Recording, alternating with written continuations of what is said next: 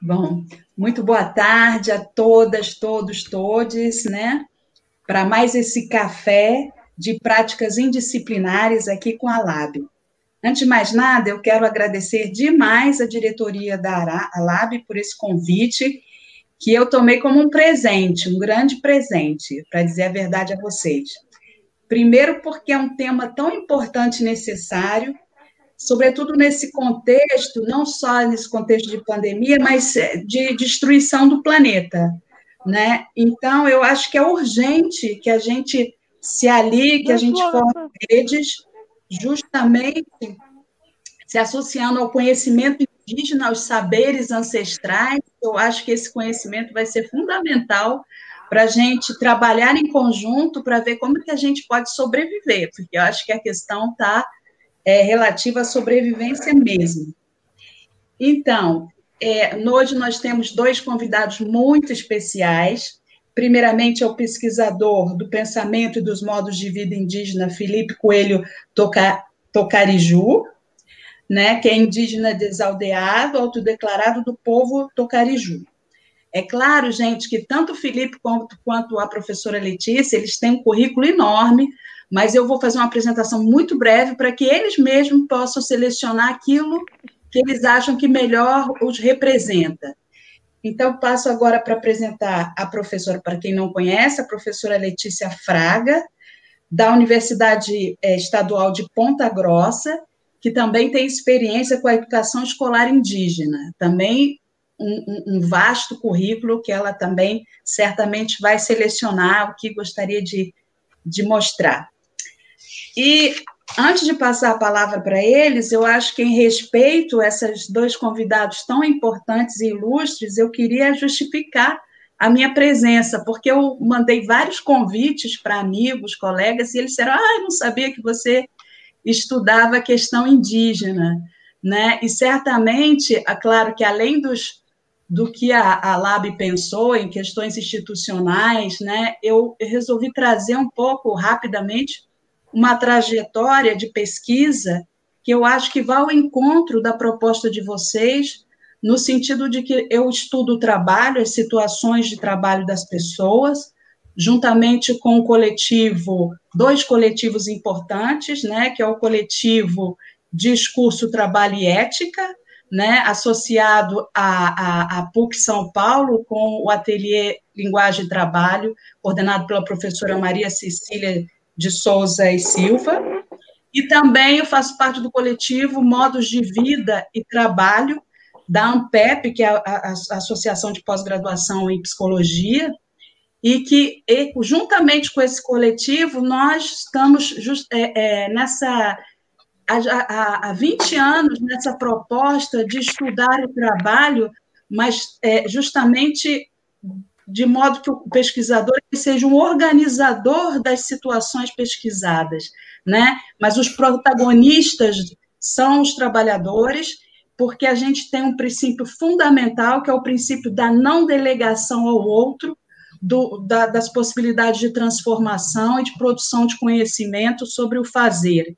Então, eu fiquei muito feliz ao ler o trabalho de vocês, para ver como que a gente vai ao encontro disso, que, ao meu ver, embora o nosso trabalho venha numa tradição é, é, de Paulo Freire, com a educação popular, do próprio Augusto Boal, com, a, com o Teatro do Oprimido, eu acho que esses, esses autores, eles também vêm de uma linhagem que, que de certo modo, com certeza, é, dialoga com uma ancestralidade indígena, né? Essa, essa questão do respeito ao outro, o respeito à terra, o respeito à floresta, ao respeito à vida, eu acho que é uma tradição que nos, que nos une. Então, por isso que eu falei que para mim foi um presente enorme é, estar aqui juntamente com vocês e espero que acho que a gente vai ter uma conversa muito agradável. Então, inicialmente vai hum. ser a professora Letícia, né? O tópico, eu acho que eu posso ir falando os tópicos, né? Ou talvez o, mostrando a organização geral, que é eles dividiram o trabalho em quatro tópicos. O primeiro é uma discussão sobre a noção de ciência na perspectiva ancestral dos povos indígenas. em contraposição, uma noção ocidental de ciência, né? Eu diria até uma parte de uma noção ocidental, né? Acho que tem uma outra que vem justamente nessa linhagem da nossa herança ancestral indígena. E depois, no segundo momento, essa diferença entre fazer a ciência sobre, a respeito de, né? De certo modo, tornando o sujeito um objeto, né? Diferentemente de uma de uma perspectiva que, que é a que vocês defendem, que é trabalhar em conjunto com os povos indígenas. No terceiro momento, vocês vão apresentar os princípios éticos específicos que devem orientar esse trabalho, né? Então, vão discutir questões de nomenclatura, justamente essa ideia de sujeito, informante, participante, né? E depois também, é, no, no 3.2, a importância de pensar metodologia justamente que possibilita essa construção conjunta de um trabalho, né? E no quarto ponto, é, vocês vão tratar das experiências de vocês de fazer ciência, primeiramente com o Felipe Tocariju, né, que vai falar sobre o lugar do modo de ser e do saber do ciclo dos céus, né? E depois a professora Letícia, que vai discutir o que, que aprendeu do desenvolvimento em conjunto com professores indígenas de língua. Espero ter sido fiel ao que vocês apresentaram. Então, agora vamos desfrutar desse bate-papo, desse café de práticas indisciplinares. É, o nome é ótimo, acho que a gente está muito adequado para o que a gente faz, né, Felipe? Nós somos sempre indisciplinar. É, sim. indisciplinar e indisciplinados. Gente, então eu vou me apresentar brevemente. É, né? Você, você tem culpa no fato de eu ser assim, tá ficando cada vez mais assim. É, eu sou Letícia Prada. É, sou professora, é sou professora aqui da Universidade Estadual de Ponta Grossa, no Paraná, pertinho de Curitiba. Estava explicando para a Maristela, uma, uma instituição que tem, tem algum tempo já, mas não é muito conhecida, uma instituição pública, né, que faz, acho que um trabalho importante quanto universidade pública, né, vamos aqui ressaltar as universidades públicas brasileiras, né, é, trabalho com povos indígenas há quase 10 anos, é, desenvolvo trabalhos na área de formação de professores, e especificamente mais voltada para políticas linguísticas. Então, me interessa né, é, colaborar no que for possível para que as comunidades, as escolas, os professores consigam fazer um trabalho de gestão de línguas que eles consideram importante. Então, é, junto com as comunidades, é, eu desenvolvo trabalhos de elaboração de material didático, né? Nós temos publicado já alguns materiais impressos e agora, mais recentemente, nós temos feito material audiovisual também sempre procurando é, é, dar espaço para a língua indígena, né? Que aqui no Paraná é, a gente tem basicamente são duas, é, a língua do povo caingangue, a língua caingangue, que tem as suas variedades, né? Porque o estado é um pouquinho grande, e a língua guarani, que também tem as suas variedades conforme o lugar da região, né? Então essa é a minha minha experiência é, para a discussão desse tema, né? Felipe, se apresente. É, boa tarde a todos. Vocês me ouvem bem, né? Sim. Boa tarde e agradecer o convite, né, de estar aqui podendo ter esse espaço para poder falar sobre esses temas importantes. É, queria também deixar aqui a minha, a minha homenagem a todos, a todos que, que todos os indígenas e não indígenas que se foram nessa pandemia, né? E deixar é, registrado que, eu, que eu, eu dedico essa minha participação ao meu, ao meu avô que se foi nessa pandemia. E aqui fica uhum. a minha homenagem a ele.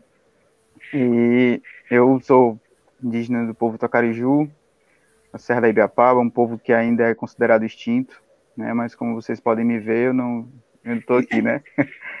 E é, sou formado em filosofia pela UES e já trabalho há algum tempo com esse pensamento, tá, trabalhando nas, os pensamentos e modos de vida indígena, né? alguns, né, não todos, porque são, são, somos, somos plurais, não, não dá para a gente ser genérico em relação a, a trabalhar com, com os povos indígenas, por isso que é sempre no plural. É, nunca, não dá para dizer que é, que é algo... Né, e já tenho uma certa experiência assim, nessa área, de trabalhar com o movimento indígena daqui há alguns anos, conhecer outros parentes de outros locais, conheci a Letícia numa palestra que ela foi, que ela veio aqui no Ceará, Está, é, tá, inclusive, devendo uma, uma visita para a gente ir à praia, quando, quando passar mais esse, essa, esse momento da pandemia. Espero a gente se, se reencontrar. E é isso, estamos aí, estamos juntos e vamos trocar uma ideia, conversar, que é importante, né? Isso aí. Então, bora para o nosso compromisso aqui, que a gente prometeu muito com esse título. É, né? Eu vou começar falando um pouco sobre isso, a gente levou um tempo para definir o título, e, e, a nossa forma de trabalho, eu e o Felipe, a gente faz algumas coisas juntos, já fez, né, coisas que eu considero, assim, muito importantes para minha carreira é, pessoal, mas, né, para minha carreira, mas também para mim enquanto pessoa, né, na, nessa, nessa coisa que é a vida da gente tentar sempre melhorar.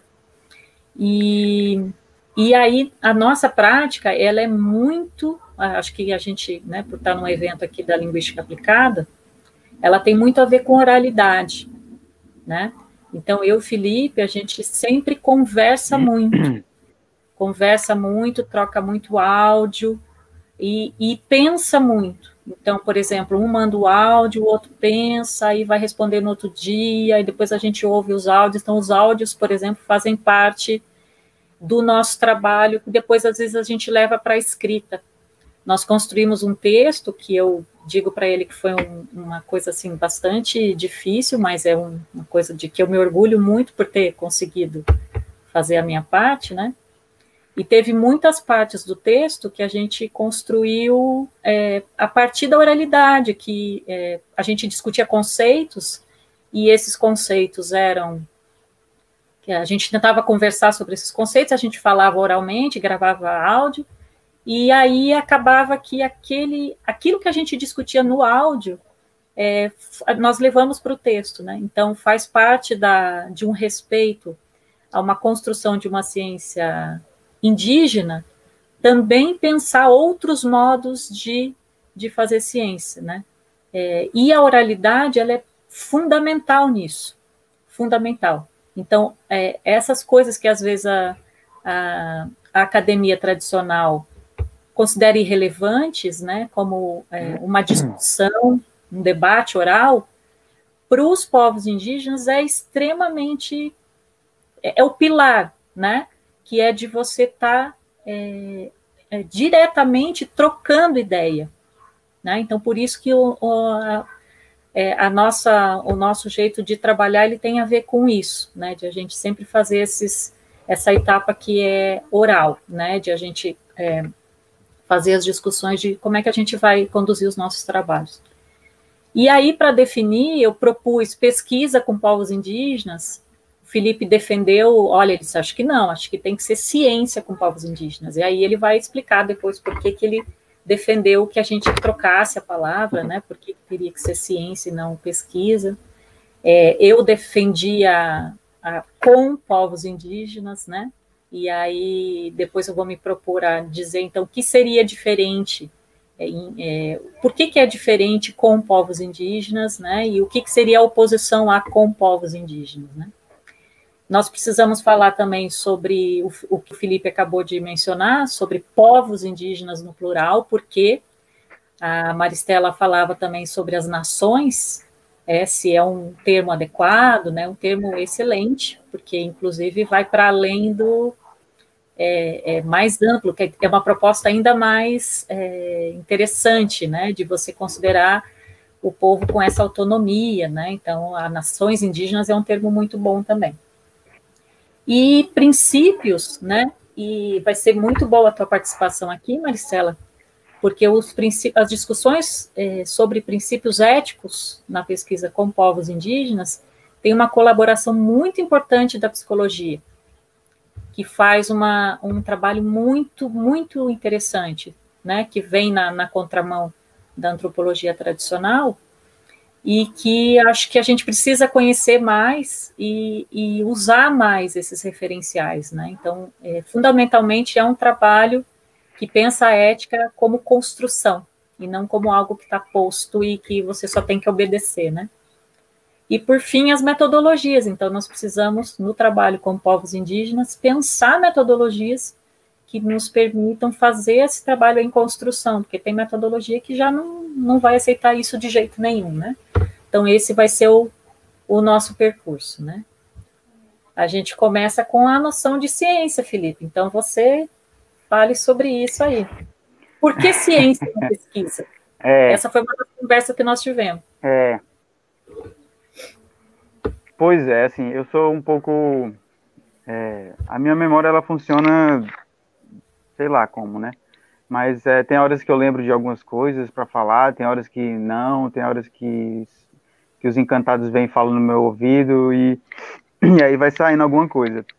E às, às vezes eu tenho muita certeza que muitas conversas com a Letícia não sou só eu que fala, né? São os nossos encantados que falam também. É, e sempre estão nos ajudando, né? Por isso a gente já também já traz outra perspectiva de morte e de vida, né? A partir dos povos indígenas. É, as pessoas dizem, ah, fulano, é, perdemos o fulano, né? Assim, para nós, é, perdemos a, a uma, uma, uma, dimensionalidade dele, né? Mas ele ainda, nossos troncos velhos, por exemplo, eles continuam vivos ainda, só que na aldeia do outro lado, né? Eles continuam nos trazendo é, perspectivas, é, sabedoria, conhecimento, a fala deles, né? Porque é, muitas vezes nos nossos rituais de pagelança eles chegam também para falar com a gente, né? Então não existe essa essa divisão, né? E, e, e não é só uma questão de crença ou de espiritualidade, né? Para a gente é uma questão de vida, né? É uma questão de cosmovisão. É, se para a gente a morte, né? A vida, tem um outro, um outro, digamos assim, outra matriz epistemológica, de, ontológica de pensamento, por que, que também não existiria outra matriz ontológica e epistemológica de pensar, por exemplo, a história, a geografia, a filosofia, a, lingu a linguagem, né? Por que, que nós, quando vamos fazer pesquisa, a gente só se, é, se baseia nessas matrizes epistemológicas que vêm geralmente da Europa, né? Por que, que a gente não começa a pensar, por exemplo, uma memória que não seja uma memória apenas baseada num, num, numa linha cronológica do tempo que, que fala em passado, presente e futuro? Por que, que a gente não começa a pensar numa memória que é, que é como eu, como eu gosto de fazer, como eu gosto de falar, assim, que ela está mais próxima um pouco do que a física quântica fala, né? Uma memória que é emaranhada, que não existe um presente, um passado e um futuro, mas tudo está acontecendo no aqui e no agora. É, então, a partir dessa, desse, de, desse pensamento da memória, por exemplo, para os nossos povos, a gente já pode pensar que a história ela não é só uma ciência que trabalha apenas com esse tempo cronológico da narrativa do progresso do tempo que passa, né? A gente pode pensar numa perspectiva é, de outro tempo para a história, né? E aí esse outro tempo para a história não só ligado também à história escrita ou arquivada, mas à história oral, que já tem uma outra perspectiva de tempo e espaço, né? Onde ela acontece em outro espaço, não é mais no espaço da escrita, por exemplo, é no espaço da fala. Né? E é, eu defendo essa ideia de pesquisa, de não de pesquisa, mas de ciência com povos indígenas, para trazer essa perspectiva de pensar por uma outra ontologia. Porque, por que eu comecei a pensar assim, né? Porque eu comecei a trabalhar na filosofia, fui fazer minha monografia e as pessoas chegavam para mim dizendo que eu tinha que me associar a um pensamento de um filósofo.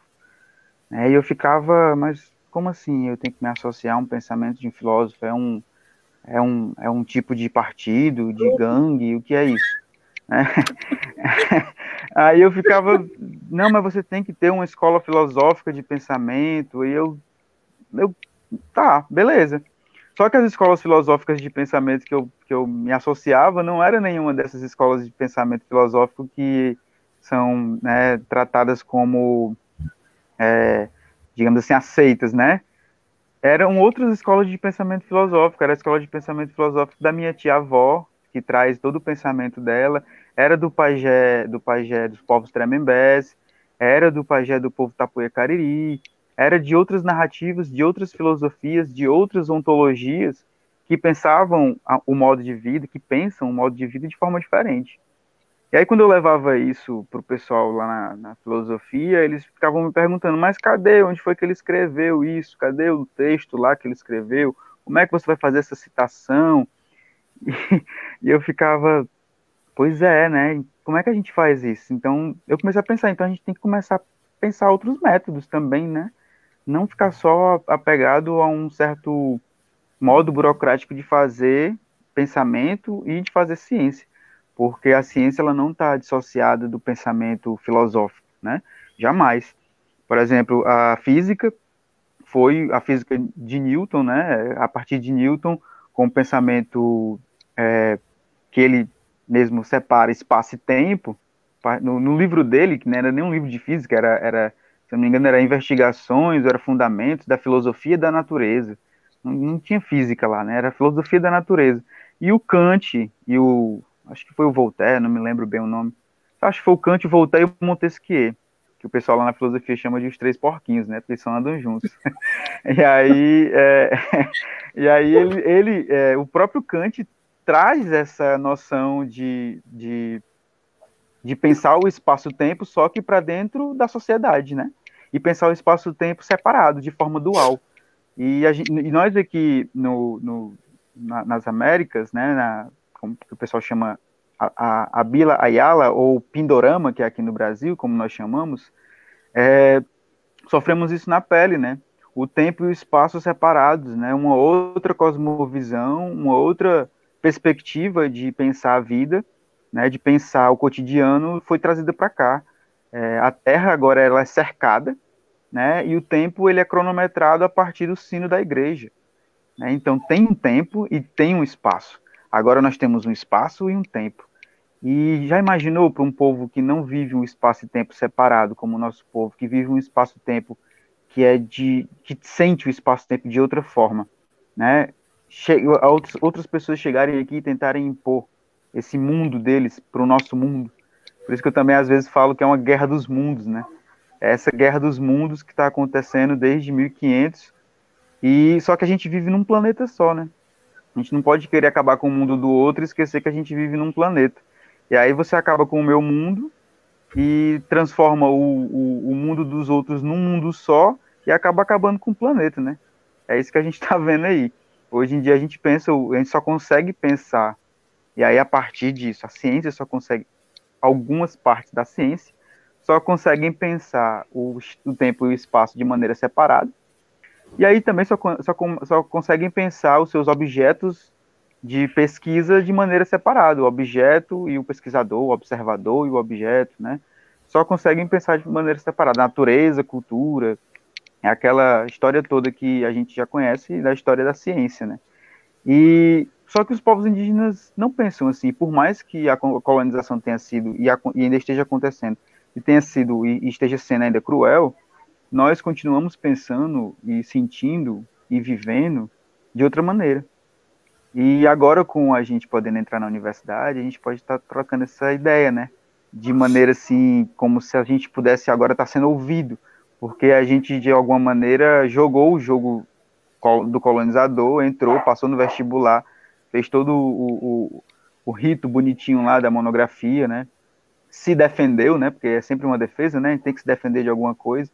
A gente se defende, e aí depois que a gente se defende, as pessoas começam, ah, agora ele está formado, agora ele está dentro do jogo, e agora a gente pode começar a trocar uma ideia, né? E pensar de forma diferente.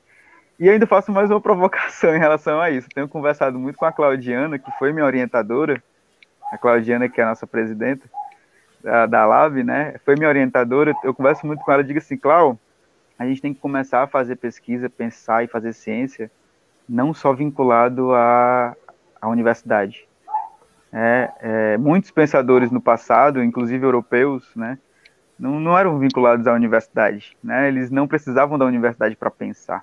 Não é que eu, não, eu não estou dizendo que não se precisa da universidade, mas eu estou dizendo que a gente pode ampliar, os, é, é, digamos assim, ampliar mais o, o, o que é o pesquisar, né, para fora dos muros da universidade. Trazer essa ideia de, de você querer se motivar e ir atrás e buscar, e não só se motivar porque você vai entrar num programa de pós-graduação. Eu, eu, eu mesmo fico pensando muito isso porque eu fico pensando, será que eu preciso entrar num programa de mestrado para eu continuar pensando o que eu penso? Para eu continuar tendo vez e voz para falar? Será que eu preciso realmente de, de um status ou de um, de um, de um, de um canudo lá para dizer que agora eu sou mestre e, e, e, e preciso desse estímulo para eu pensar, para eu fazer uma pesquisa? sabe? E, e, e, eu quero fazer isso, entrar no mestrado, não, não porque eu não precise, né? Mas porque eu sei que é um local que eu tenho que ocupar e que a universidade, por muito tempo, principalmente para os povos do Nordeste, foi um local de apagamento dos nossos povos, né? E quanto mais eu puder estar dentro da universidade e usar a universidade para fazer os nossos povos aparecerem, que é o que eu chamo, que é o que a gente chama de retomada, a gente puder fazer mais essa retomada, melhor. Mas a gente também pode começar a fazer ciência e pesquisa sem, sem, sem ser só atrelado a uma universidade, porque às vezes o poder nas mãos só da universidade acaba transformando, e a gente já viu muitas vezes na história, né, a, a ciência como poder político. É, essa, é, recentemente agora, há duas semanas, saiu uma pesquisa falando sobre o, o, o código genético do cearense e tinha dizendo que era em nível maior de nórdicos do que de indígenas e negros. E isso foi uma pesquisa feita pela Universidade Federal do Ceará. É, é, aí você entende o tipo de, de a quem está servindo esse tipo de pesquisa, né? E a quem e a universidade está tá no meio, porque um dos professores que fez isso está na universidade. E a quem, a quem serve esse tipo de pesquisa? Porque aqui no Ceará, em 1863, foi declarado que os povos estavam extintos, estavam todos misturados, a população não eram mais indígenas, eram cearenses. É, você fez uma pergunta para mim em off, né, se eu falava alguma língua. Aqui no nosso Nordeste, só existe um povo que fala sua língua nativa, que é o povo Funiô, no Pernambuco. Aqui, nós, é, a nossa ancestralidade, ela se mostra, ela se expande, ela se amplia é, para além da, da língua nativa porque até isso os colonizadores nos tiraram. Mas a nossa forma de perceber o mundo, de sentir, de pensar, de agir, ainda é a nossa forma ancestral. É, como diz os zapatistas, que eu adoro essa, essa, fala, essa palavra deles, nós somos os de ontem, mas somos novos. Né? O, só para você ter uma ideia, o povo Tapuia Cariri, é, você conhece o Toré? que é uma, uma, uma, uma, dança, um ritual indígena aqui do Ceará, do, do Nordeste em geral. O povo Tapuia Cariri aprendeu, reaprendeu o toré deles a partir de um, de um encantado que falou pelo pajé e ensinou a eles como era feito o toré na época antes da colonização. Então, assim, você percebe como a, a ciência, digamos assim, física, né, é extrapolada por esse extrafísico, e esse extrafísico extrapola cada vez mais na vida, se esparrama, se amplia cada vez mais na vida, porque esse povo, que antes foi considerado extinto, hoje está aqui de novo. É, nós, é como se fôssemos, é como se a gente tivesse, é como não, a gente está dizendo, olha, a, a história oficial que foi escrita, arquivada, documentada, tem muitos fragmentos, lacunas e mentiras. Então, a partir disso, a gente pode começar a pensar numa outra história, numa outra ciência, história, né? A, ciência, a história é uma ciência, numa outra ciência, só que agora a partir do pensamento, da forma de ver o mundo dos povos indígenas. Mais ou menos por aí. Só isso. então, a, a minha proposta de pesquisa com povos indígenas tem a ver com essa limitação que, que a gente na academia tradicional tem, né? Porque a gente estava pensando em discutir é, é, possibilidades práticas de pesquisa, mas é, e aí nas, na nossa conversa foi assim, é, não basta a gente discutir, porque discutir pesquisa com povos indígenas não faz a gente sair do lugar, né? Agora, discutir uhum. uma ciência com povos indígenas, aí a gente começa a ultrapassar o, aquele lugar de você fazer a, a diferença entre o conhecimento acadêmico como conhecimento, como ciência, e o conhecimento que está fora da academia como algo que não é conhecimento, que não é ciência, que é saber, saber tradicional. Existem vários termos, né? Que a gente usa, saberes tradicionais. Lendas, mitos, folclore. Nossa, pior ainda, esses são piores, né? São palavras piores ainda. Então, é, daí a importância, né? E, e, o Felipe, melhor do que ninguém para colocar isso. É, não, Letícia, tem que ser ciência. Tem ciência, a gente precisa requerer o lugar de ciência. O que nós, os nossos conhecimentos são, são ciências, né? E, inclusive, uhum. não, é, não é só uma ciência, são várias, né? Então, até uhum. isso é importante, porque a gente também tem uma imposição de uma forma de, de, de ciência, né? Considerada como a melhor.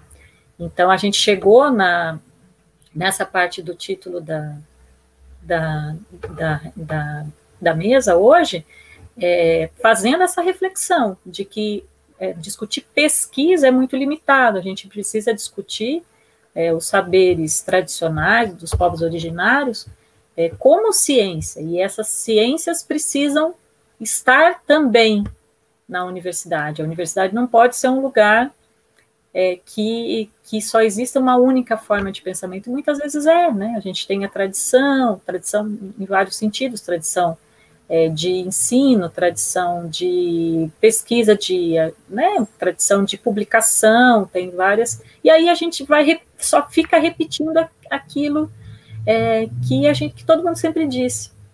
É muito interessante esse exemplo do Felipe, dele dizer que os professores diziam que ele não podia dizer nada que já não estivesse sido dito. Olha só. Como é que você diz isso, Felipe? Quem disse isso, Felipe? Ou seja, a gente só pode dizer o que é, alguém né? já disse. Né? É, e a gente não percebe que é isso que a gente faz. Que a gente é formado, formatado para dizer o que alguém disse. Né? Então, é, é, E outra, extrema... né, Letícia? Oi? Não, às vezes, é, para a gente, muitas coisas acontecem no sonho. Ah, e aí, sim. se eu for chegar para um professor e dizer, onde foi que você aprendeu isso? Eu digo, não, foi um, um encantado sonho. que me falou num sonho. O professor vai dizer o quê? Vai dizer que eu tô, né? Isso não é ciência, isso é loucura. Então, Felipe, Desculpa eu fiquei pensando enquanto você você falava, né? Porque você citou Kant e fiquei pensando na questão dos conceitos, né? Como Kant diz que, a, uhum. na verdade, você acaba produzindo, né, você a, a, a, uma máquina de conceitos que é quase incontornável. E, ao mesmo tempo, até pelo que você relata, a vida ela tem que estar em primeira posição nessa ciência, né, indígena em relação a esses conceitos, né? Porque se essa ciência está na história, uhum. né, ela está sempre re, revendo, mesmo que eu consiga eh, organizar um conceito, ele vai me escapar, até por essa temporalidade e tudo mais. Aí me vem uma pergunta: uhum. é possível para uma pessoa não indígena se formar nessa ciência? Tendo é, em vista. Acho que, assim. Eu, assim, eu sempre dizia para o pessoal lá na filosofia que nenhum dos filósofos é, que eles estudam se formaria lá porque era uhum. muita burocracia dentro do próprio curso, né? É, eu acho assim que não dá para se formar num, numa ciência indígena. Eu acho que você uhum. aprende até o último dia da sua passagem por aqui. Por isso que nós temos os nossos troncos velhos, né? E a pergunta é, é, como é que você se torna um tronco né? velho? Você né, não é um curso que a gente é, conclui, é, não é um botão que a gente aperta. Né? É, como é que você se torna um tronco velho? Né? Você, você chega a se tornar um tronco velho e aí pronto, acabou se você já é o tronco velho. E não, não aprende mais. Não, é, uma, é um constante aprender, né? E, e é por isso que existe aqui no, aqui no Nordeste, tem um conceito muito interessante eu não sei se esse conceito tem entre os outros povos do norte, do sudeste, do sul, que é um conceito de troncos velhos e de pontas de rama. Os troncos velhos são aqueles que, digamos assim, nos dão a, a estão um pouco mais avançados na caminhada, né? Que, que trazem essa história e essa, essa temporalidade espacialidade ancestral. E as pontas de rama são os, os mais novos, que começam que começamos a brotar e trazer nossos frutos e flores, e só que estamos ligados a esses troncos, né, com a, a, através dessas raízes. E aí a, você pode pensar o tronco e, e, a ponta de rama como um mangue, que não tem uma entrada única, né? Tem várias entradas, várias saídas. Você pode pensar como uma grama, você pode pensar como, como várias outras perspectivas de, de, de, de fazer essa metáfora, digamos assim, através do vegetal, né? E, e, então é isso. Eu acho que você não se forma nessa nessa essa faculdade, não. É uma faculdade que todo dia você Ninguém aprende, porque é isso, né? A vida. É, não tem. É, é que nem eu digo assim, você terminou terminou a graduação, terminou o mestrado e terminou o doutorado, e aí você acha realmente que é um doutor, né? Esse é o problema. Você acha que é um mestre, você acha que é um licenciado, e aí acaba que nem aquele carinha lá, aquele desembargador que rasgou a multa do rapaz e se acha acima do bem e do mal, né? E aí cria essa estrutura é, de, de, sociedade que a gente tem hoje, que é de cima para baixo. Quando você está sempre aprendendo, você está no horizonte, né? Você não, não, não olha ninguém de cima para baixo. Os nossos troncos velhos não nos olham de cima para baixo, eles olham na horizontal. E, e, e, é por isso que nós os respeitamos, né? Porque a gente sabe que está na, na, horizontal. Porém, eles são os nossos, eles são as nossas bibliotecas ambulantes. É, eles não são uma, uma liderança, uma referência, aquele o líder é, inquestionável. Não, eles são as nossas bibliotecas. Né?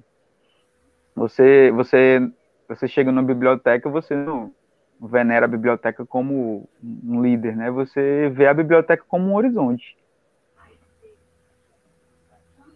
Desculpa te interromper, Letícia. Não, é, eu, eu queria dizer assim, essa pergunta da Maristela é muito boa, eu acho que a gente entra nesse nesse curso aí, mas a gente não sai. Então, quando a pessoa entrar, ela tem que saber que ela não, não sai. Mas isso não é ruim, gente. Só que assim, é, é um questionamento, é, mas, é, mas o bom é que a gente precisa fazer em conjunto com. É sempre coletivo, nunca é isolado. E eu acho que às vezes a gente sofre na academia porque a gente tem esses questionamentos que às vezes são muito isolados, que a gente às vezes tem até vergonha de, de dizer para as pessoas que a gente tem: oh, eu não sei isso, isso aqui eu não entendi direito, isso aqui eu acho que não, não é suficiente, não é? A gente tem, é, e ainda mais assim, o professor pesquisador, né, o pesquisador professor, é, que tem muito essa exigência de, de inclusive dele para ele, né, de ele achar que ele tem que dar a resposta para os seus alunos, né, então, se a gente tem que dar resposta, é, é, a gente não consegue entender que a gente pode conversar com, discutir com, né, essa visão de do que é a universidade, do que é ensinado, do que é a docência, né? Ela é muito é muito violenta, né? Ela é muito violenta e tem muitas essas uhum. exigências que são muito ruins. Então, o que eu diria assim da minha da minha experiência é que a gente não sai, a gente não vai ter um diploma desse curso, mas é muito bom continuar fazendo esse curso, porque a gente nunca faz sozinho. Então, essa é uma outra uma é. outra coisa que eu queria chamar a atenção, que é, que é muito diferente da, da academia tradicional, né? É, e a ciência... Gente, a ciência... olha só, para mim está sendo... Fale, Maristela. Está sendo um aprendizado também, né? É, porque já entraram algumas perguntas e como estão relacionadas ao que está sendo falado, mas eu não quero te interromper, já interrompendo, Felipe. Não, pode, pode Você quer seguir? Então, então tem aqui. É, aqui eu não estou recebendo. Ah, uma pergunta da Daiane dos Santos, que já tinham até mostrado aqui. É, como os sonhos são nossos canais mais antigos de aprender com os nossos ancestrais, né? Que é um recurso também, né? Que a gente tem de sonhar. Uhum. Então, ela diz que a ciência, quais ciências queremos? né? Não sei se vocês têm alguma coisa a dizer ou comentar sobre isso, né? Ou se a gente pode fazer um, um conjunto de comentários aqui e vocês verificam o que, que podem ir pegando, né? Desses ramos uhum. aí, né? E uhum. é, a pergunta é como o ritmo do tempo contemporâneo rivaliza com outras possibilidades de experimentar tempo-espaço. Então, é... Como a gente pode... É, como Fala que é, o ritmo do espaço-tempo contemporâneo rivaliza com outras possibilidades de experimentar tempo-espaço, né? Talvez, assim, como que a gente, estando na história e ao mesmo sendo da história, não sei se vocês percebem, mas há uma rivalidade aí, né? Entre, é, uhum. pelo menos o que eu entendi dessa pergunta, tempo-espaço né? Como é que ele, a gente pode experimentar esse outro tempo-espaço, tendo em vista esse tempo-espaço ocidental, vamos chamar assim, né? Como é que isso, uhum. como é que rivaliza? Eu acho que as perguntas estão muito relacionadas, né? Então, por exemplo, a questão do sonho é a gente pensar que você pode abrir mão um pouco dessa tua consciência, dessa tua razão, ou não ser, esse não ser o único parâmetro que você vai utilizar para você fazer as suas reflexões, né? É, eu tenho conversado, uhum. eu estou tendo a sorte, né, de poder passar a pandemia com é, a minha família, né? Então, marido e duas filhas, mesmo um filho meu que está numa outra cidade, mas é bastante gente, né, para a gente conviver.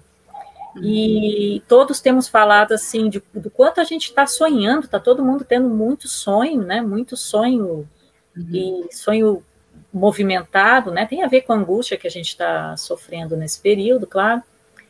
E, enfim, mas isso mostra que que assim que a gente precisa pensar outras formas de se relacionar com o mundo, não só a base na base do racional, né?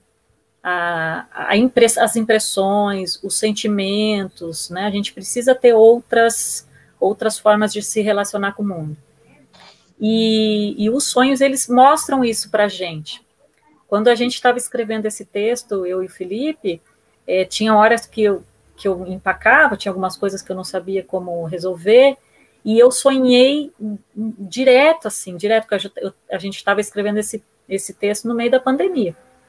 E eu sonhei muito com esse texto, e algumas coisas que eu empacava, eu ia desempacava no sonho. No sonho eu sonhava que eu estava falando sobre aquilo, e aquilo foi se desenrolando porque ali você tem um relaxamento que, que você tem um inconsciente, um subconsciente, não é só a razão.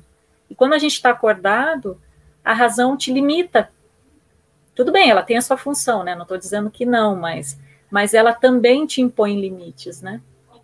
Quando a, a, acho que foi a Daniele que perguntou, né, sobre que ciência queremos, eu já acho que essa pergunta é excelente. Então, quando a gente pergunta que ciência a gente quer, significa que a gente não vai só se é, contentar com a ciência que vão nos impor, né? Então, eu já acho Exato. que isso, é, ou seja, a gente entende que dá para fazer, dá para construir. E aí a gente tem que saber com base onde a gente quer chegar, né? Da onde a gente quer partir. Mas é, a gente entende que a gente tem um envolvimento com isso, né? E é, e é, e é difícil a gente ter essas, é, os alunos se sentirem à vontade para fazer essas perguntas, as pessoas se sentirem à vontade de colocar, é, de se colocar como sujeitas, né, de, de construção de ciência. Então, essa uhum. pergunta é uma uhum. pergunta que, quando ela é feita, já significa né, que a gente tem alguém ali que não vai só se contentar em repetir conceitos, né, teorias, né? Uhum. E sobre a disputa, Felipe? Oi? Sobre a disputa. É, sobre essa questão do sonho também. Sim, é, é, sim, sobre a questão do sonho também, assim, tem a questão que para a gente, é, para as nossas, para nossa ancestralidade e tradição, o sonho ele não se trata apenas de algo onírico, né? Ele também é como se fosse um salto de consciência de, de porque como eu falei da, da outra vez, a questão da morte para a gente é diferente.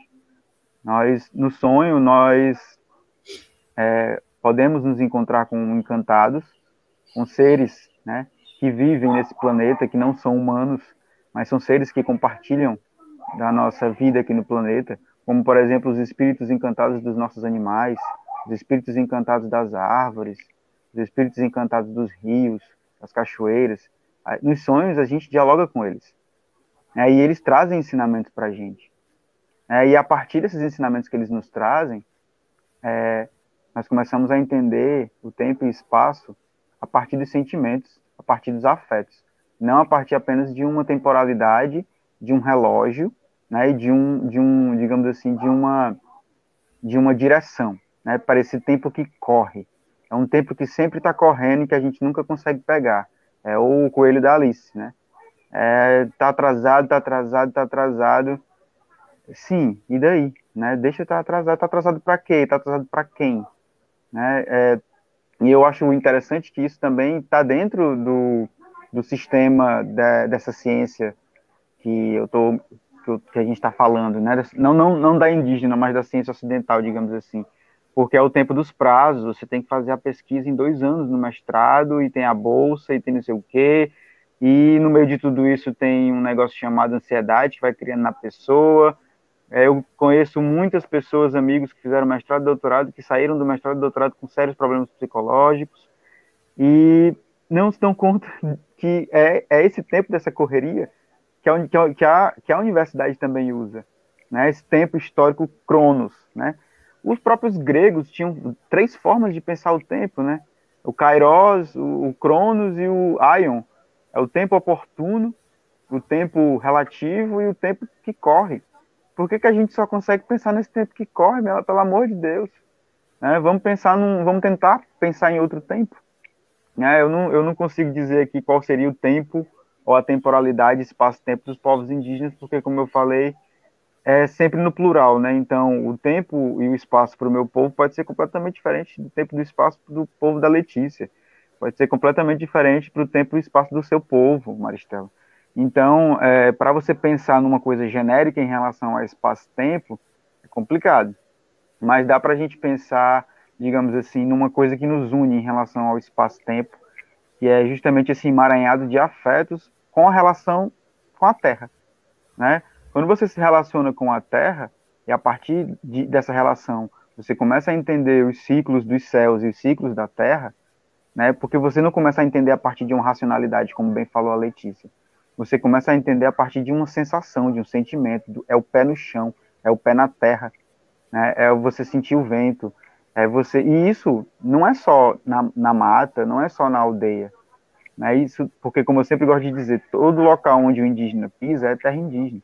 Dá para você fazer isso dentro de uma cidade, dá, né?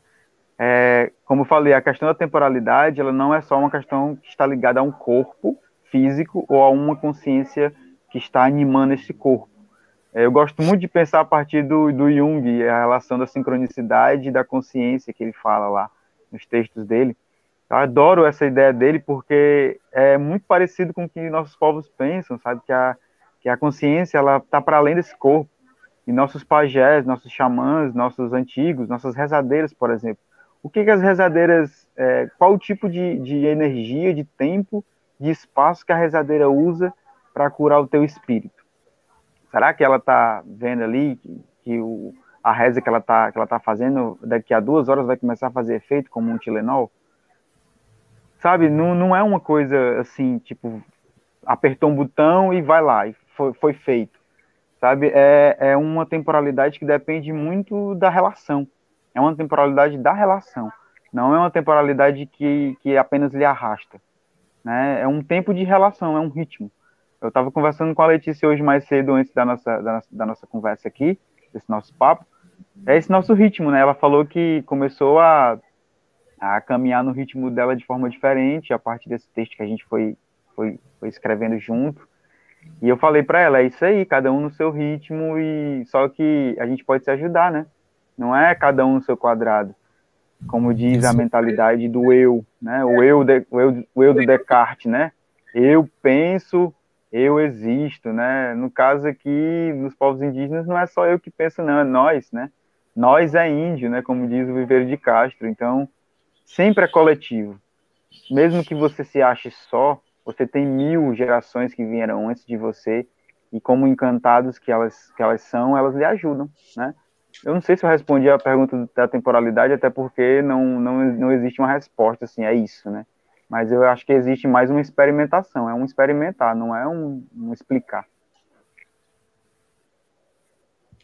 Então, a, a Joana Plaza fez um comentário aqui que achou belíssima a explanação sobre o tempo, né? E aqui a Aline Patrício, ela diz que na escola tem um espaço indígena. Agora sumiu. Ah, bom. E, e, e tem um espaço para fogueira e temos várias frutas e plantas medicinais como o boldo. Adoro boldo. Né? É, então, assim, eu não sei se vocês, vocês querem comentar isso, né? Que ela está falando que tem.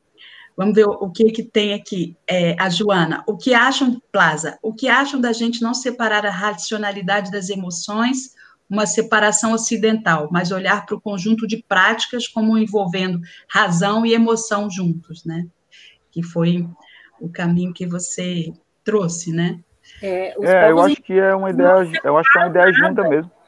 É, não separa nada. É. Nós é que temos mania de separar. Eu, eu trouxe essa questão de forma mais separada, de forma mais didática, mas é, não é separado mesmo, uhum. não. Só que também uhum. a gente não pensa uma razão nos moldes é, ocidentais, né? Aquela razão como, como uma racionalidade que, digamos assim, tenha uma, um foco numa, num pensamento lógico, né? Lógico, uhum. raciocínio lógico, aristotélico, no, no, no mais, mais aristotélico no mais, no mais, digamos assim, no mais puro, né? A nossa racionalidade uhum. é, é, a nossa racionalidade de emoção não dá é tá emaranhado, né? Não dá para não dá para pensar separado. Então, a Daiane também observa que a minha avó, sem saber ler, com as mãos enfiadas na terra, pressionava a branquitude e o racismo. Essa cosmologia eu aprendi em silêncio, vendo ela cuidar das plantas. A Samira Costa. É um poema dela, isso daí, ela é muito danada. É lindo, é, é lindo, é. A Samira Costa diz: a ciência dialoga com a pesquisa? Precisa, né? Qual ciência? A ciência indígena? É, qual ciência? É. Então, a gente precisa ter mais, é. entender que é importante a gente ter visões de ciência, que é a gente precisa pensar em modos de pesquisa, né? Então, assim, eu tenho certeza que não é que os, os não indígenas não sintam, por exemplo, quando você está se deixando vencer pelo prazo, e, e, mesmo que isso te custe a tua saúde, não é que você não sinta que isso está errado, né? Mas é que você se submete. Essa uhum. que é a questão, né? Então tem uma imposição e essa imposição ela é muito forte porque existe uma promessa, digamos assim, né, na, na no uhum. que nós estava brincando ali do é, uma promessa de futuro, o que o Krenak gosta de falar muito, né? Então você se submete porque existe uma promessa de que no futuro você vai ter algum ganho com aquilo. E a gente acaba vivendo em função de futuro, de um futuro que a gente nem sabe o que, que vai dar, se vai dar, a gente não sabe nada, né? Ou como o, o Krenak fala também, o Felipe também fala, a gente se lamenta sobre o passado, né? Ou, ou seja, o que a gente não uhum. faz é viver o presente, né?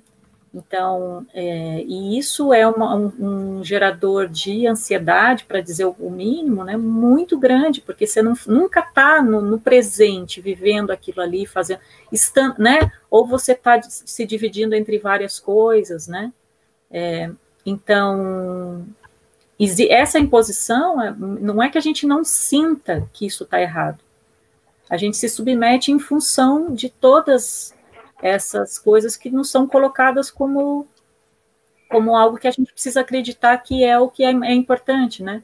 Não, você precisa estudar, fazer faculdade, é porque aí você vai ter um emprego, vai ter um carro, vai ter uma casa, vai, né? São essas promessas que, uhum. a, que a gente ouve, né? Uhum. Não, você precisa estudar inglês, porque aí você vai ter um emprego assim, assim, assado, é sempre em função de um futuro, e a gente, e esse futuro nunca chega, como um momento em que você vai desfrutar, né? Porque se a gente está sempre pensando no futuro, Ai. você não desfruta nunca. Aí diz assim, né? Quando eu me aposentar, eu vou desfrutar. Não é?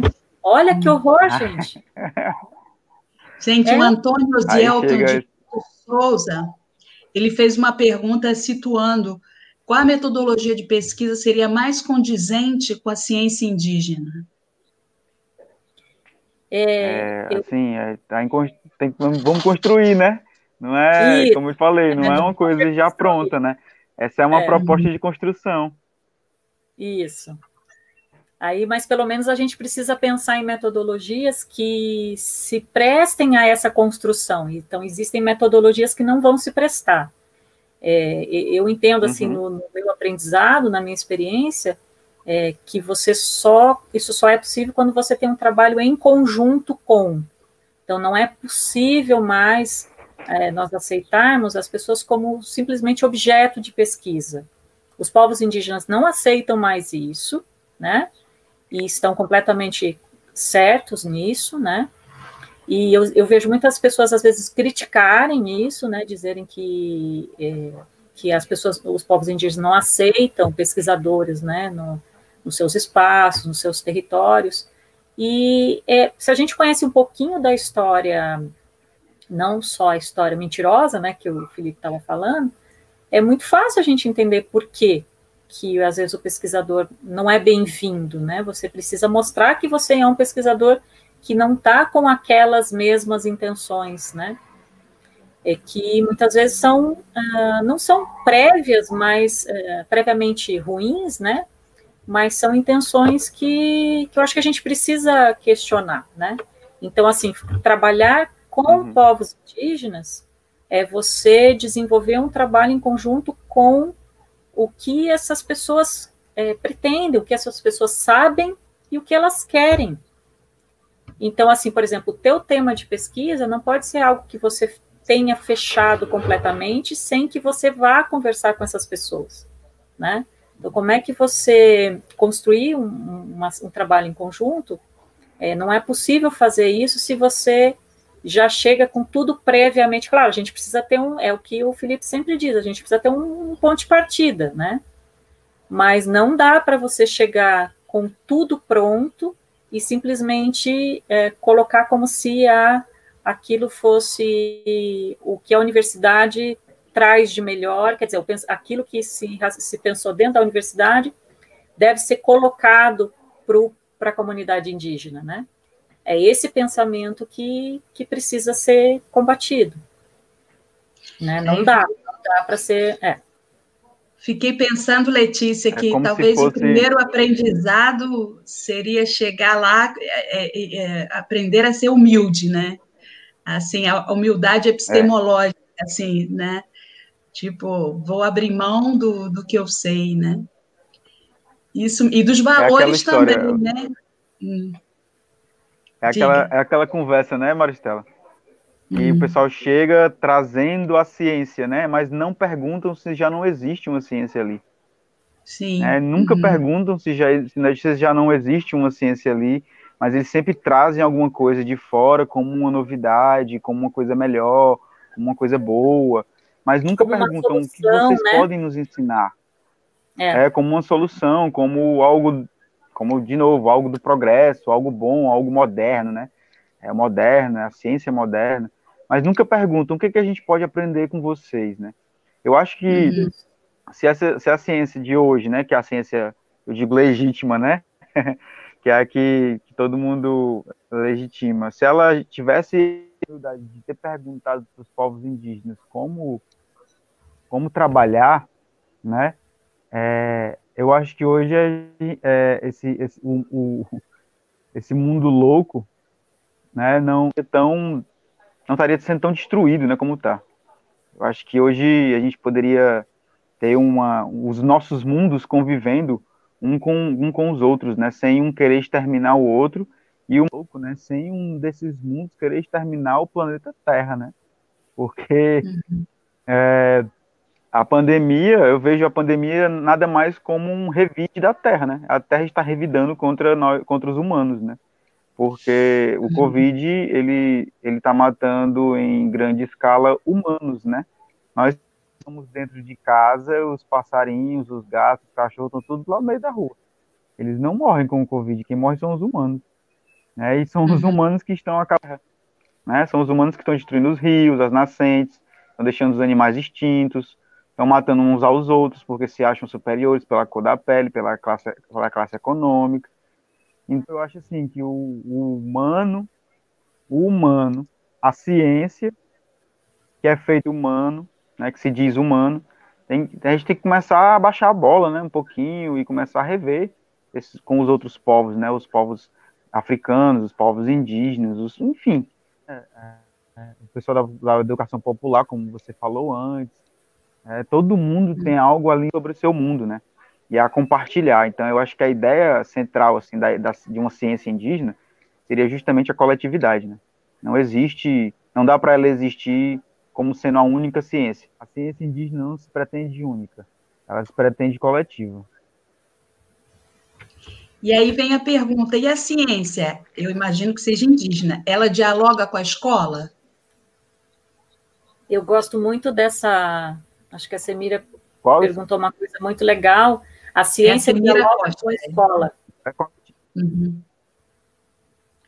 Eu acho que muitas vezes a relação que a universidade tem com a escola é, é a, a relação que a pesquisa tem com os povos indígenas, é de chegar lá e dizer como é que as coisas devem ser feitas. Eu acho que dá para fazer uma analogia muito boa com porque muitas vezes se chega, né, a, a, escola é um universo, né, e existem escolas diferentes, em lugares diferentes, né, então, você chegar e pensar que você vai levar a, a resposta, né, e que você vai levar a solução para coisas que muitas vezes nem são vistas como problema, né, para as pessoas que estão ali, é, eu acho que é uma, uma coisa que a gente precisa pensar, né, e muitas vezes o, a postura é essa, é de se achar que a academia vai lá resolver é, os problemas que ela enxerga, que não necessariamente os problemas são é, é a, a própria comunidade vê desse jeito, né?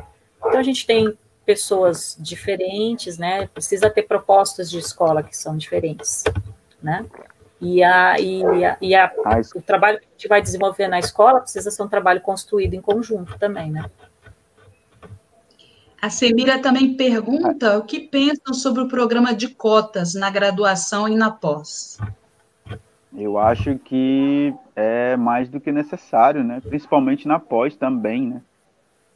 É, eu acho muito massa lá na UEPG que tem programa de cotas para pós, né? É, uhum. A US lá no, no, no, aqui no Ceará tá bem atrás nesse sentido, né? Era para ter já. E assim, a gente tem que sim que ocupar esses espaços, que é para justamente fazer com que esses espaços no, no, falar nesses espaços, né? Ter nossa voz nesses espaços. É mais do que necessário. Eu, eu acho que é, eu acho é pouco e quero é mais. é, eu gosto de, muito dessa frase. Eu também acho é pouco. quero é mais. E ao mesmo tempo, gente, eu não eu consigo deixar de não dizer que ao mesmo tempo é, a, a, eu percebo que, pelo tudo que vocês disseram até agora, que é preciso também uma luta de certificação desse saber. Certificação desse saber independente dos moldes, vamos dizer assim, clássicos, né, de mestrado, doutorado, né, mas eu acho que achar mecanismos, né, uma política nessa direção, sabe? Como certificar, uhum. vamos certificar esse conhecimento, vamos Vamos trazê-lo se a gente quer uhum. trabalhar em conjunto, né? Enfim. Uhum. A UFMG é o primeiro passo, né? essa certificação, é um trabalho muito bonito.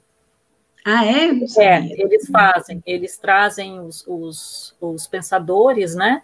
E eles fazem uma certificação e eles participam de bancas, sabe? É, eles têm uma linha de trabalho lá que é de, de saberes é, afro-brasileiros e africanos e indígenas. e, uhum. e as pessoas, os, os, os, pensadores, né, que não estão na academia, eles têm um espaço que a, a universidade conseguiu fazer uma certificação e eles conseguem participar de todas as atividades, dar suas contribuições, é muito interessante. É uma das coisas que a, a uhum. gente tem vontade de fazer aqui na universidade também. Que aí é um jeito da gente conseguir conciliar as imposições com o que a gente pode fazer, é, melhorando, né? É, isso que a gente uhum. já faz, né? De a gente conseguir, de fato, trazer esses saberes aqui para dentro da, da é. instituição, né? É, é, porque, assim, às vezes, né, o, os títulos que se ganha na universidade, eles servem como passaporte para você falar em algum lugar, né? Ainda assim, uhum. ainda hoje é assim, né? o, o, o, o, entre aspas, ideal seria que esses títulos não servissem como esses passaportes, né? Por exemplo, eu e a Letícia, a gente estava participando aí de, um, de, uma, de uma revista que é, só, só, só podia assinar quem era doutor. E, ah. tipo, por eu não ser doutor, né, eu não, eu não poderia assinar. Mas, é, é, a gente fica perguntando, será que a minha bisavó, que sabia muito sobre ervas, sobre rezas, sobre muitas coisas, será que não dava para ela ensinar alguma coisa para um doutor? É, Com certeza. Eu fico uhum. me perguntando sobre isso. E aí ela não poderia falar, ela não poderia assinar porque ela não era uma doutora. Complicado. Então, olha só o que a gente perde, né? Nossa. Uhum. Gente, é. deixa eu ler aqui a pergunta da Vanusa Benício Lopes. Ela diz assim: o fato do indígena é. cearense trazer a sua língua nativa nos cânticos, nas palavras, no corpo, nas narrativas, podemos dizer que os povos indígenas ampliam o conceito de língua, linguagem? Sim, totalmente. E assim, eu digo que o, o eu digo que amplia no, no amplia a linguagem para o patamar de uma energia, né? A linguagem é como se fosse uma energia e não apenas um signo ou um símbolo. É uma energia mesmo, uma frequência. É como eu falei, é, os povos Tapuia Cariri lá, no, lá em São Benedito, eles conversaram com o seu, o seu ancestral, né? Como foi que foi feita essa ponte? Que método eles utilizaram? Cientificamente falando, né? Não dá para saber é, que linguagem foi essa, porque a linguagem que ele trouxe, né, a tradução dessa linguagem foi em português, né? Foi a linguagem do, do, do colonizador, mas ele não trouxe, digamos assim, uma frequência e uma energia que vinha do colonizador. Ele trouxe uma frequência, uma frequência e uma energia que fez brotar um povo, né? Que fez fez retomar um povo. Então a linguagem nesse nesse ponto ela não é só a língua ou o signo ou o significante, ela é uma, uma, uma, frequência, uma onda, uma energia, uma coisa que contagia, principalmente não, só nos cânticos, né, mas até mesmo no jeito de você de você viver, assim, as pessoas eh, que me conhecem, assim, falam e tal, e dizem assim, ah, você tem um jeito assim, e eu fico pensando de onde é que vem esse jeito, como é que, como é que eu ainda, ainda tenho esse jeito, é, é, é, engraçado isso, mas é, eu achei muito boa essa ideia da, da que a, que a Vanusa colocou. Uhum. Bom, aqui também tem uma outra questão da Gília Guardian. Que relações podemos estabelecer entre o pensamento ameríndio e a, eu acho que é, e a linguística aplicada interdisciplinar? Eu não sei se, se esse PME vocês entendem de outra forma. Não, é, eu acho que era um E, né? Eu acho que é um E. Linguística, é. Relações podemos estabelecer entre o pensamento ameríndio e, e linguística aplicada interdisciplinar. Eu acho que eu Aí posso. Deixa a Letícia falar que ela se garante. É. eu posso avançar para o que estava previsto para o último, daí depois a gente volta, e, e, pensamento indígena é isso assim também. A gente vai vendo como é que rola e a gente faz os ajustes no roteiro que a gente tinha combinado bem direitinho, né, Felipe? A gente hum, vai ver. de Caiós, né? É, tranquilo. Ó, a conversa está evoluindo para isso, a gente ajusta. E aí depois a, é, eu acho importante o Felipe falar sobre o, o, trabalho dele, né? O trabalho de monografia. É, mas assim, eu falo toda vez que eu tenho oportunidade, né? Falo sobre o que eu aprendi em termos de linguística, linguística aplicada, é, eu venho de uma formação bastante tradicional na área de linguística. Eu fiz graduação e mestrado na UFSC. Na, o doutorado eu fiz na Unicamp e a UFSC, ela, na época que eu estudei lá, era uma universidade assim bem, bem tradicional, né, em termos de, de linguística. É, a gente estudava muita fonética, fonologia, morfo, o, a linguística hardcore, né? E essa é, essa é a formação que eu tinha. E é, e é a formação que, para mim, ainda é a que fala mais forte, né, que vem primeiro. O que é língua, o que é língua materna, que, esses conceitos né, que a gente se agarra como, como certezas, né, que a gente acha que tem que repetir e não refletir sobre eles. Né. Quando eu comecei a, a ir à terra indígena é, e desenvolver trabalhos com professores de língua indígena, eu me deparei com uma série de situações é, que eu tentava me, me, situar a partir do, do, que eu sabia dos livros, que eu tinha aprendido nos livros com os meus professores, né? Então, por exemplo, eu fui para uma terra indígena, aqui no Paraná a gente tem situações diversas, a gente tem terras indígenas em que você tem bastante falante de português e poucos falantes de língua indígena, você tem terras indígenas em que você tem bilíngues, você as pessoas sabem as duas línguas, e terras indígenas em que você tem gente que não fala português. Você tem todas essas situações. E eu estava numa terra indígena em que as pessoas uh, tem muito falante de português, né? E estava com um professor excelente, o professor Alcides, com quem é, a gente fez o primeiro livro, um livro de língua caingangue, e o professor Alcides, um, um, um, tronco velho, como diz o Felipe, uma pessoa maravilhosa, um conhecimento sobre língua, sobre um ser humano incrível. E ele dizia assim para mim, Letícia, olha, tem muita gente interessada em estudar língua caingangue, porque tem as pessoas, esses meninos mais novos aí já não falam tanto língua caingangue, né? Eu acho que seria uma coisa interessante da gente observar, da gente fazer, ofertar, o que, que você acha? E eu disse assim para ele: eu vou dizer porque eu não tenho vergonha, porque eu acho que, é, que a gente vai aprender junto aqui. Né? Eu, eu, fiquei com vergonha, mas eu vou repetir. É, ele disse, eu disse assim: então tá, vamos montar um curso de, de língua cangangue. É, e eu sabia que tinha essa diversidade de gente que sabia a língua, gente que não sabia mais a língua. Eu falei: então vamos ofertar duas turmas. Uma de introdução e uma de uma de e uma avançada, né? ele olhou para mim, é, é, é, sabe aquela, aquela perspectiva que a gente tem de língua estrangeira, inclusive de fazer nivelamento, né? Saber quem uhum. sabe mais e dividir as turmas por como se a gente pudesse medir o conhecimento assim, né? Ele falou não, ele falou com toda a paciência, não, professora, não é assim. É, quem sabe, todo mundo tem o que ensinar e todo mundo tem que aprender. Se a gente separar, aí as pessoas vão e a gente classificar, ele não disse com essas palavras, mas assim, e a gente classificar e dizer que essa aqui é avançada, essa aqui é iniciante, a gente vai atribuindo um, uma classificação que não está não tá correto, né? E as pessoas vão fazer a sua aprendizagem naturalmente dentro do. Então a gente não pode separar, a gente tem que deixar todo mundo junto, porque as pessoas vão. Isso faz parte da aprendizagem também, não é só o professor que ensina. O colega também ensina. Foi uma então, baita uma vergonha, né?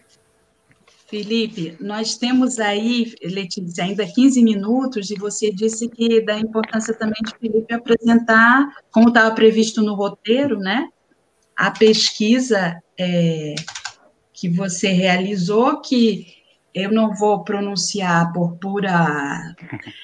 É, não, Pronuncia, aí, aí ele te ajuda e te, te ensina. Eu sempre falo isso para os meus alunos, agora na hora é. de eu falar, eu já recuo. Não, eu prefiro tá falar sobre o lugar do modo de ser e o saber dos ciclos dos céus. Será que é uhum. Tecoarandu Aracuá? É Tecoharandu Aracuá. Ok, Tecoharandu Aracuá. O lugar do é, modo é... de ser e saber dos ciclos dos céus. É. Hum. Inclusive, se der certo, esse trabalho vai, vai virar um livro e eu até eu acho que eu vou até mudar o título, porque é em língua tupi, né? Aí e eu comecei a estudar um pouco da língua de Zubucuá, que é a língua cariri, que é uhum. é mais próximo do meu povo. E eu também estava estudando até um pouco a língua aruac, né, que é a língua dos terena, o povo terena do Mato Grosso. Mas enfim, vou, vou ver aí. Pois é, essa pesquisa, ela surgiu por conta dessa, da, assim, é, principalmente no nome indígena, né? É, o nome, se eu não me engano, ele é de matriz grega, sei lá, não sei. Sei que a tradução dele é Indi, né, que é de dentro, e Gena, que é terra. Né? E é o uhum. indígena, é o, de, é o que nasce na terra, o de dentro da terra. E eu, eu assistindo, um, eu lembrei de um desenho que eu gostava muito, que era o Dragon Ball. E aí no Dragon Ball eu vi uma cena que eu fiquei assim, poxa, cara, que coisa louca, que legal, que era um indígena conversando com o personagem principal do desenho, que ele é um alienígena.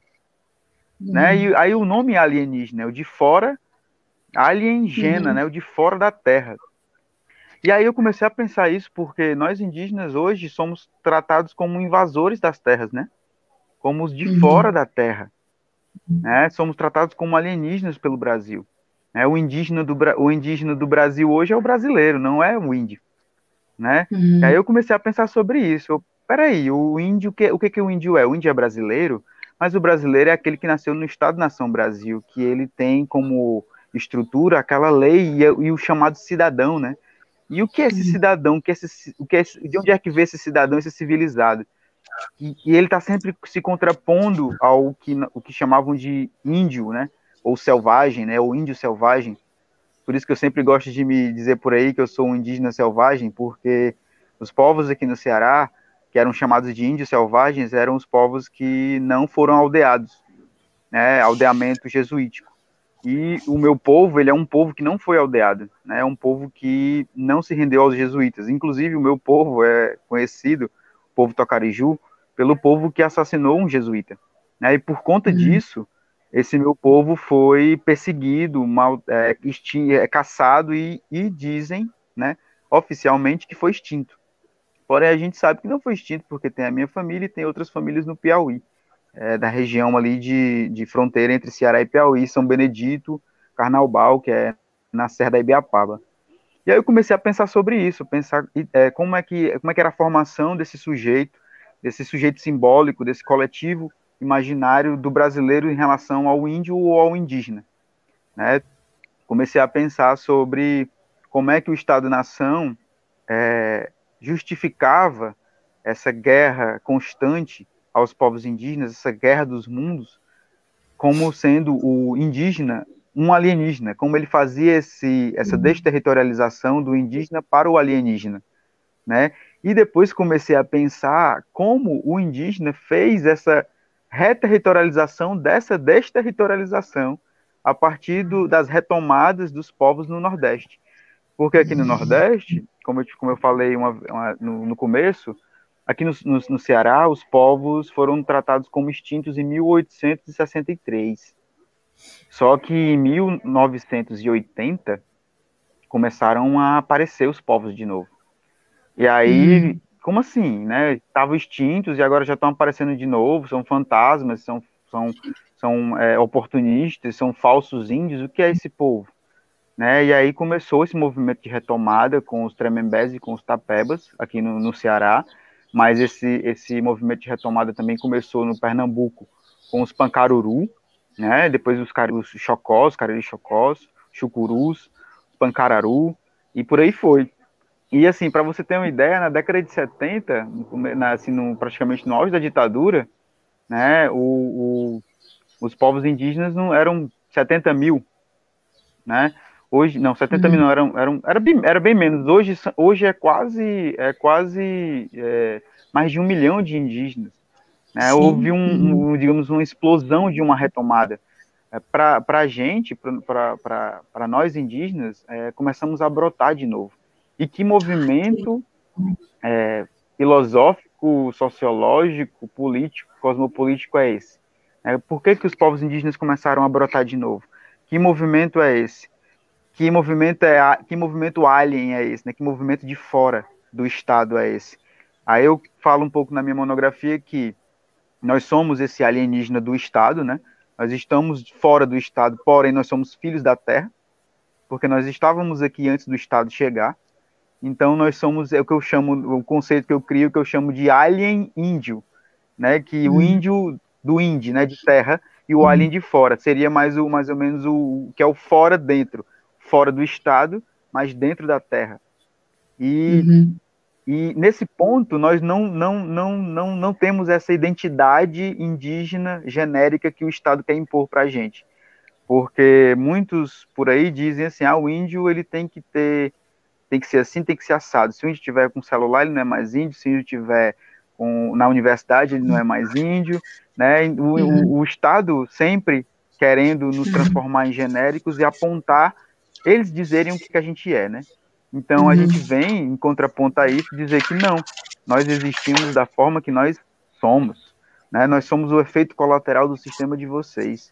A gente está uhum. aqui para retomar tudo que é, que é nosso, né? E propor outra questão, outras questões. E quem quiser se aliar a gente, estamos junto. Mas quem não quiser se aliar, infelizmente, né? Nós vamos ter que resistir, né? Então é por isso que até hoje a gente resiste. É o que eu sempre digo: enquanto houver terra, vai haver índio, índio. indígena. Quando não tiver mais terra, aí não vai ter, hum. aí não vai ter mais ninguém, né? Terra Porque se ninguém. não tiver mais o planeta, não vai ter mais.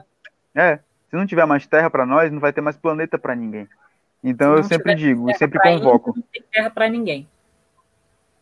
É, por isso que eu sempre convoco.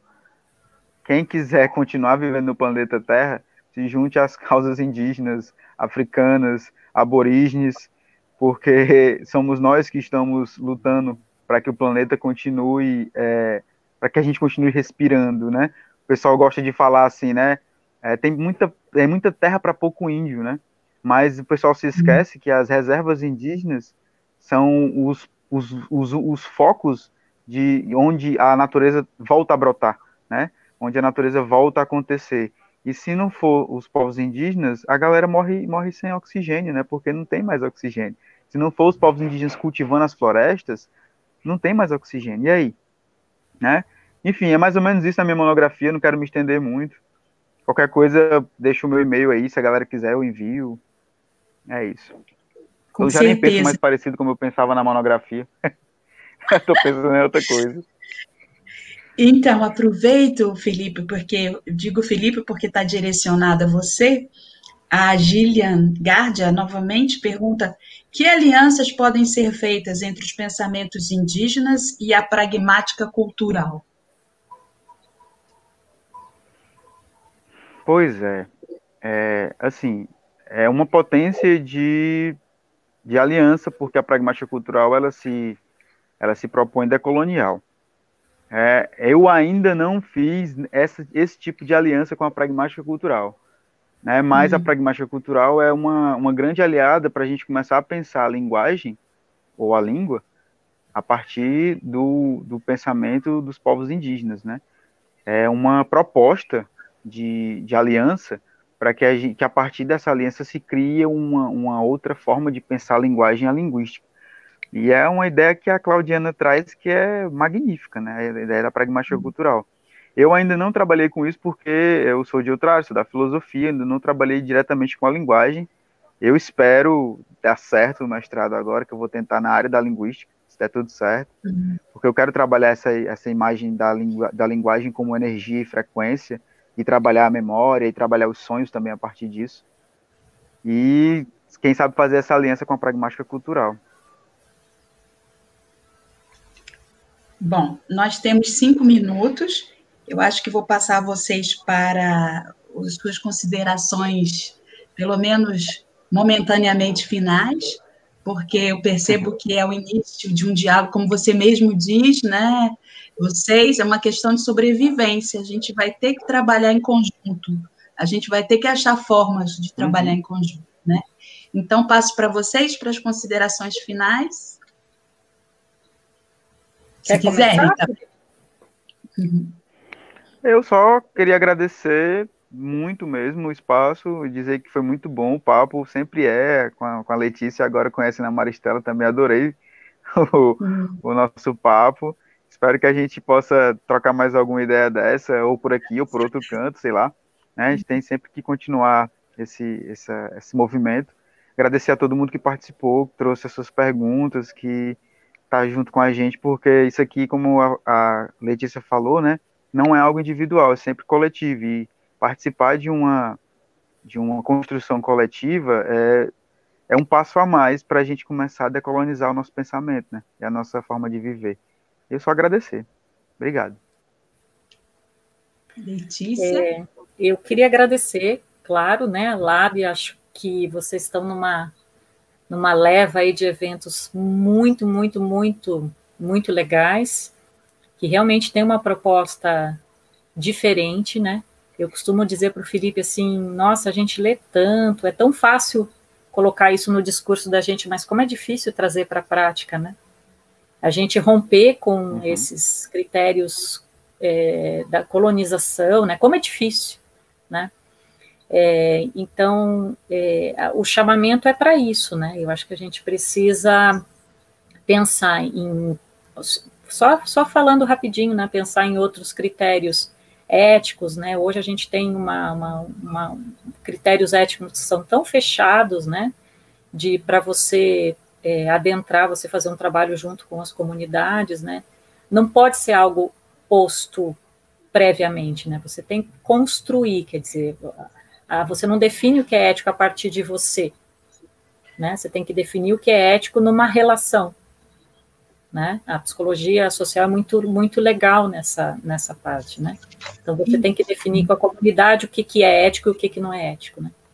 Por exemplo, pensando uma ciência indígena, é, então, você precisa é, fazer esse conhecimento, ser, é, a, a, né, os saberes tradicionais terem esse status de ciência, então você precisa saber quem disse aquilo, não que as pessoas tenham auto, autoridade, tenham autoria sobre aquele conhecimento, não é isso, é diferente, né?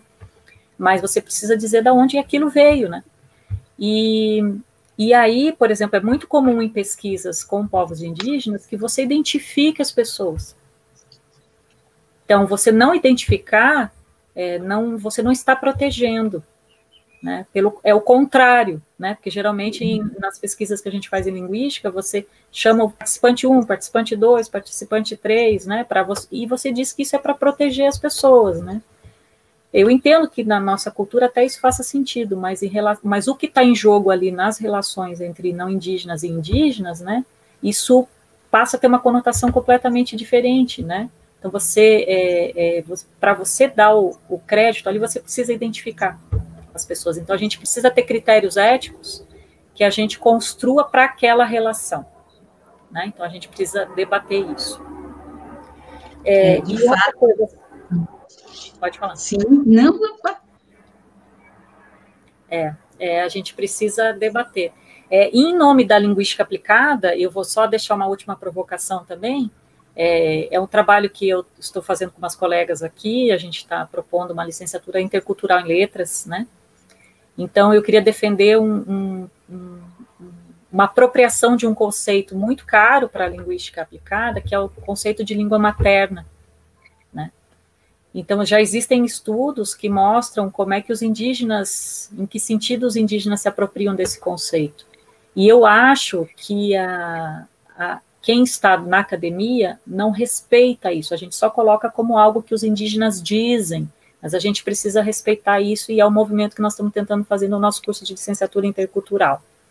A língua materna é a língua étnica, é a língua de identidade. Não tem a ver com o fato de você falar ou não essa língua. E aí nós, na linguística aplicada, precisamos pensar sobre isso, precisamos respeitar essa visão é, esses pensamentos, essa relação com a língua, que não é nos nossos termos, né? E precisamos respeitar e, e usar essa nomenclatura, que é a nomenclatura que os povos indígenas usam para identificar o que é, na sua visão, a sua língua, né? É interessante, né, essa dinâmica da vida, né, colocando os conceitos em xeque, né? Sim. E agora eu queria também, é, é, bom, novamente agradecer a Lab. Eu quero dizer que a Lab, para mim, eu até coloquei aqui, ela está fazendo um, um, movimento ajudando nessa reinvenção do presente, né? Fiquei muito também inspirada acho. com a fala do, do Walter Mignolo, né, para falar dessa, dessa matrística, né, de essa ideia de, de, de uma, uma comuna feminina, né, mas esse feminino no sentido bem, acho abrangente, que eu acho que é mais assim da terra, se a gente for colocar, né, a terra, não sei, me, me uhum. pensei em falar nisso, na terra que abarca tudo, feminino, masculino, a mãe, né, é, é sim, tudo. Sim. Então, e uma aí vez... eu queria perguntar. Ah, fale. Não, uma vez eu tomei o chá da ayahuasca e a Sim. terra me falou que se ela não fosse. É, se ela não fosse.